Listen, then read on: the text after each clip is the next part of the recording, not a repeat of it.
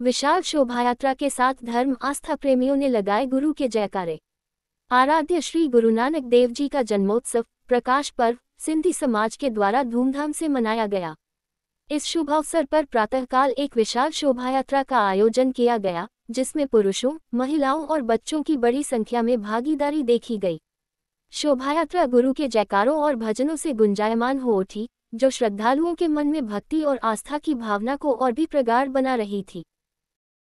प्रति वर्षानुसार इस वर्ष भी गुरु नानक देव की जयंती पूज्य सिंधी पंचायत मंडला एवं नवयुवक मंडल मंडला सारे समाज समाज द्वारा मनाई जा रही है। पूरे समाज को हर्षोल्लास से भाग लिया जा रहा है। अभी शोभा यात्रा पहुँचने वाली गुरुद्वारा साहिब में और भोग साहब होगा, भंडारा होगा, ऐसे करके प्रोग्राम का समापन होगा।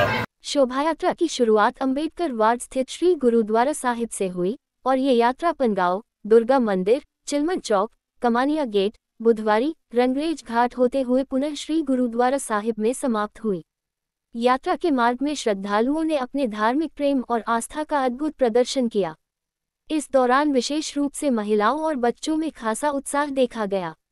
गुरु के भजनों पर वे नाचते और गायन करते हुए अपनी भक्ति का आनंद ले रहे थे। गुरु, हमारे गुरु नानक देव का जन्मोत्सव है। उसके उपलक्ष्य में हम सभी भाई शोभा यात्रा निकाली गई।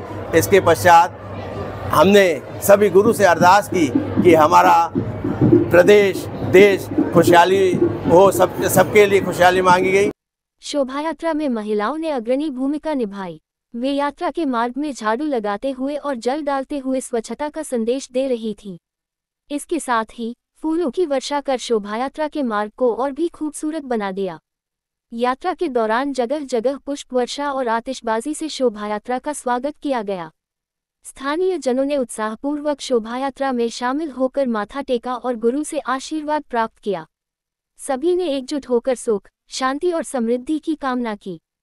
इस भव्य आयोजन में न केवल धार्मिक भक्ति का उल्लास था बल्कि समाज के हर वर्ग के लोगों में आपसी प्रेम और एकता का अद्वितीय उदाहरण भी देखने को मिला। सिंधी समाज के इस धार्मिक पर्व ने सभी को एकजुट किया और सामूहिक श्रद्धा व आस्था की शक्ति का एहसास कराया। मीडिया टुडे के लिए रितेश पमनानी की रिपोर्ट। गुरु नानक जयंती के उपलक्ष्य में पूज्य सिंधी पंचायत द्वारा नौ दिवसीय प्रभात फेरी का कार्यक्रम किया गया, जिसका समापन आज दसवें दिन, गुरु नानक जयंती के दिन विशाल प्रभात फेरी के रूप में हुआ।